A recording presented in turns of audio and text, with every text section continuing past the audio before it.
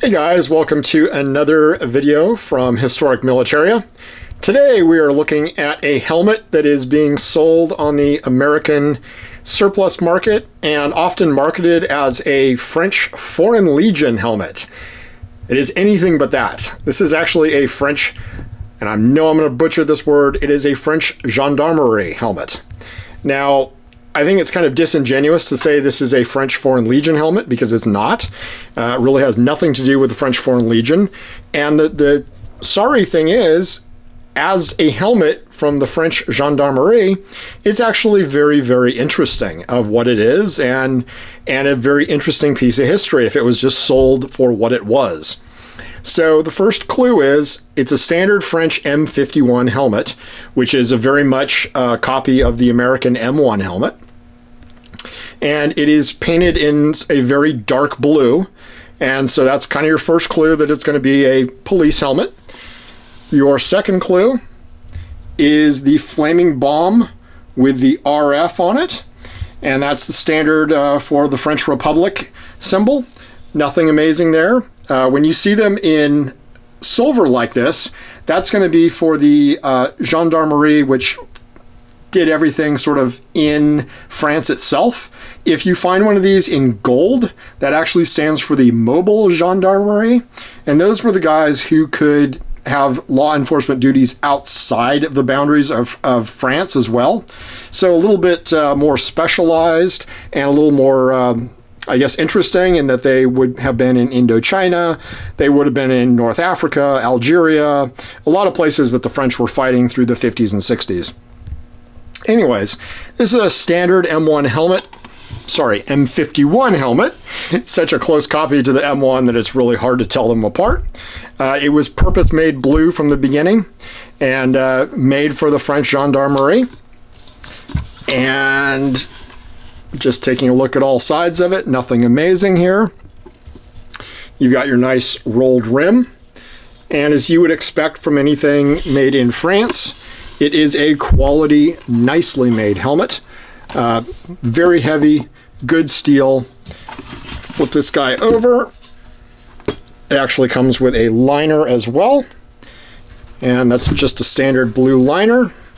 You could affix any kind of badge here if you wanted to just like uh, the American ones would have. Got your standard uh, rivet, everything for the uh, inside webbing.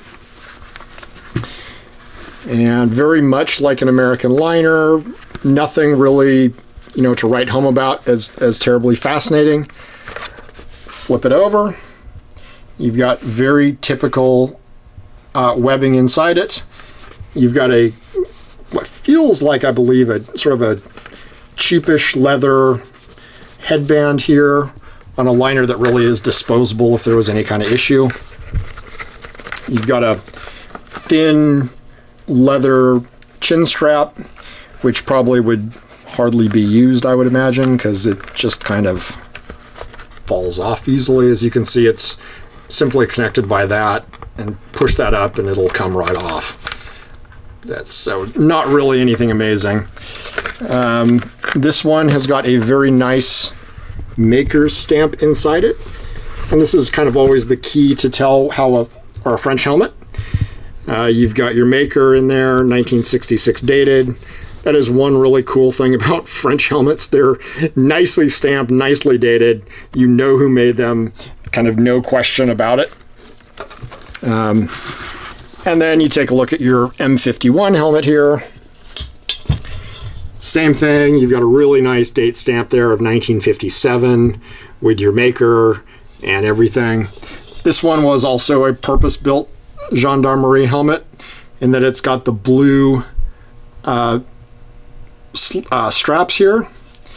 And over here these are blue as well. And just your typical uh, hook fastener nothing amazing. But these saw a lot of service actually, with a lot of uh, French gendarmerie action in uh, the 1960s when there were some pretty violent riots in uh, Paris, especially 1968 Paris certainly comes to mind. uh, a lot of the strikes in the 70s and the 80s, even.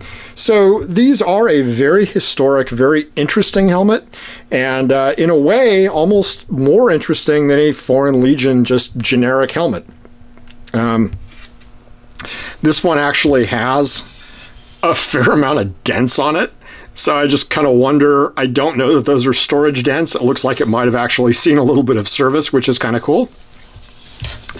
And the great thing is these are actually uh, still available and certainly not that expensive for what they are. If you collect any kind of police or or even military, because they are a military helmet made to the same grade as an M51 helmet.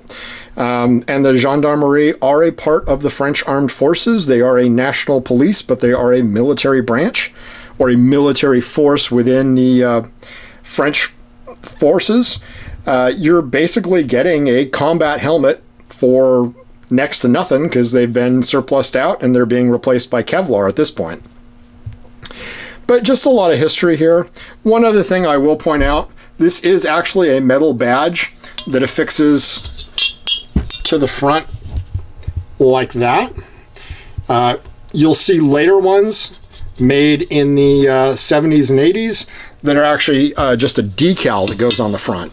So this is one of the earlier ones, uh, kind of cool, and uh, we'll be taking a look at one of the later ones in an upcoming video.